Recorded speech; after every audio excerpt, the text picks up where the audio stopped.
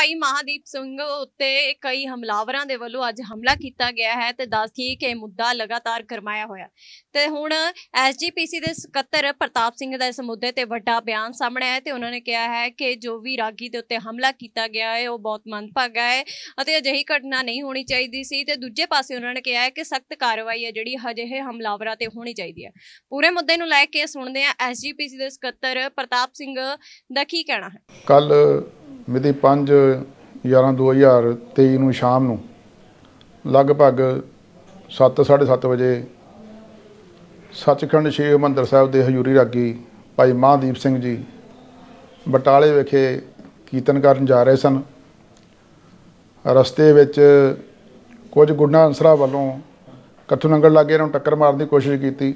ਉਸ ਤੋਂ ਬਾਅਦ ਜਦੋਂ ਟੋਲ ਪਲਾਜ਼ੇ ਤੋਂ ਲੰਘੇ ਆ ਅੱਗੇ ਜਾ ਕੇ ਉਹਨਾਂ ਨੇ ਫਿਰ ਇਹਨਾਂ ਦੇ ਅੱਗੇ ਗੱਡੀ ਲਾ ਕੇ ਇਹਨਾਂ ਨੂੰ ਰੋਕ ਕੇ ਇਹਨਾਂ ਤੇ ਹਮਲਾ ਕਰ ਦਿੱਤਾ। ਅਤੇ ਇਹਨਾਂ ਦੀ ਗੱਡੀ ਜਿਹੜੀ ਆ, ਉਹਨਾਂ ਨੇ ਦਾਤਰਾਂ ਨਾਲ ਭੰਨ ਦਿੱਤੀ। ਜੇ ਸੱਚਖੰਡ ਸ੍ਰੀ ਹ- ਹਰਿਮੰਦਰ ਸਾਹਿਬ ਦੇ ਹਜ਼ੂਰੀ ਰਾਗੀ ਵੀ ਸੇਫ ਨਹੀਂ ਗਏ, ਤਾਂ ਆਮ ਜਿਹੜਾ ਵਿਅਕਤੀ ਉਹ ਕਿੱਥੋਂ ਸੇਫ ਹੋ ਸਕਦਾ? ਕਿਉਂਕਿ ਸੱਚਖੰਡ ਸ੍ਰੀ ਹਰਿਮੰਦਰ ਸਾਹਿਬ ਦੇ ਹਜ਼ੂਰੀ ਰਾਗੀਆਂ ਨੂੰ ਤਕਰੀਬਨ ਸਾਰੀ ਸੰਗਤ ਜਾਣਦੀ ਹੁੰਦੀ ਆ ਤੇ ਉਹਨਾਂ ਨੂੰ ਪਤਾ ਹੁੰਦਾ ਕਿ ਇਹ ਸੱਚਖੰਡ ਸ੍ਰੀ ਹਰਿਮੰਦਰ ਸਾਹਿਬ ਵਿਖੇ ਕੀਰਤਨ ਕਰਨ ਵਾਲੇ ਰਾਗੀ ਜਥੇ ਨੇ। ਤੇ ਉਹਨਾਂ ਤੇ ਵੀ ਅਜੇ ਗੁੰਡਾ ਅਨਸਰਾਂ ਵੱਲੋਂ ਹਮਲਾ ਕਰਕੇ ਜਿੱਥੇ ਮੈਂ ਸਮਝਦਾ ਹਾਂ ਕਿ ਗੁਰੂ ਘਰ ਦੇ ਰਾਗੀ ਸਿੰਘਾਂ ਦਾ ਅਪਮਾਨ ਕੀਤਾ, ਉੱਥੇ ਮੈਂ ਸਮਝਦਾ ਕਿ ਸਿੱਖ ਕੌਮ ਦਾ ਵੀ ਅਪਮਾਨ ਕੀਤਾ। ਕਿਉਂਕਿ ਅਜਿਹੇ ਗੁੰਡਾ ਅਨਸਰ ਦਾ ਕੋਈ ਧਰਮ ਨਹੀਂ ਹੁੰਦਾ।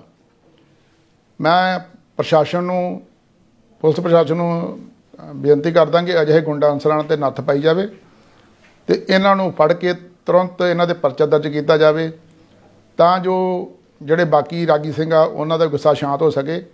ਤੇ ਜੇ ਬਾਅਦ ਚ ਕੋਈ ਪੁਲਿਸ ਪ੍ਰਸ਼ਾਸਨ ਇਹ ਕਵੇ ਕਿ ਸ਼੍ਰੋਮਣੀ ਗੁਰਦਾ ਪ੍ਰਬੰਧਕ ਕਮੇਟੀ ਆ ਤੇ ਜਿਹੜੇ ਸਿੱਖ ਕੌਮ ਆ ਇਹ ਕਾਨੂੰਨ ਆਪਣੇ ਹੱਥਾਂ 'ਚ ਲੈਂਦੇ ਨੇ। ਕਿਉਂਕਿ ਜੇ ਕਾਨੂੰਨ ਹੱਥਾਂ 'ਚ ਲੈਣ ਲੈਣਾ ਗੁਨਾਹ ਆ, ਤੇ ਫਿਰ ਹਮਲਾ ਹੀ ਕਰਨਾ ਸਭ ਤੋਂ ਵੱਡਾ ਗੁਨਾਹ ਆ।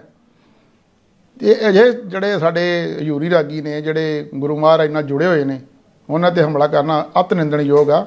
ਮੈਂ ਮਾਨਯੋਗ ਵਿਧਾਨ ਸਾਹਿਬ ਸਰਦਾਰ ਜਿੰਦਰ ਸਿੰਘ ਧਾਮੀ ਜੀ ਵੱਲੋਂ ਇਸ ਘਟਨਾ ਦੀ ਨਿੰਦਾ ਕਰਦਾ ਅਤੇ ਪ੍ਰਸ਼ਾਸਨ ਨੂੰ ਦੁਬਾਰਾ ਬੇਨਤੀ ਕਰਦਾ ਕਿ ਅਜਿਹੇ ਗੁੰਡਾ ਅਨਸਰਾਂ ਦੇ ਖਿਲਾਫ ਤੁਰੰਤ ਸਖਤ ਕਾਰਵਾਈ ਕੀਤੀ